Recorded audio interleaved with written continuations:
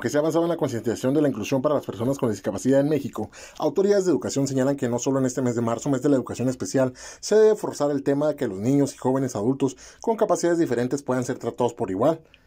Ante esto es necesario que el gobierno brinde mayor apoyo a estas personas para que puedan salir adelante y tener las mismas oportunidades. Yo creo que aquí en México eso es lo que nos falta, que nuestro gobierno se involucre, porque son jóvenes que pueden dar a la sociedad. ¿verdad? Y que son jóvenes que tienen derechos, derechos a los cuales no sabemos, así que la información ahí está, nada más acérquese a pedirla con, con las personas que son las correctas para darnos esta información. Si los menores son detectados con capacidades diferentes, deben tener una educación especial para mejorar su aprendizaje.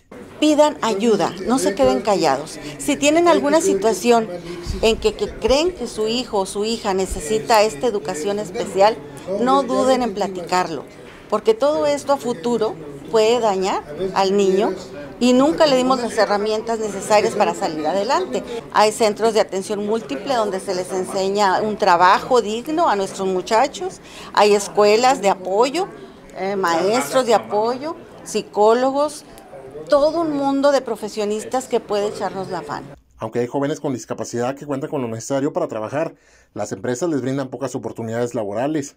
El paso que sigue para la persona con discapacidad es que se abran las puertas para darles trabajo. Empresarios que nos están escuchando, necesitamos que ustedes abran, le den la apertura para que estos chicos, nuestros chicos, puedan tener un trabajo, un lugar en la sociedad y una calidad de vida mejor.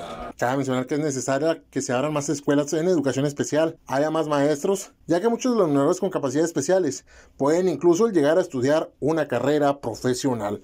Con imágenes de Gil Rodríguez para R Noticias, Abdiel Pérez Ibarra.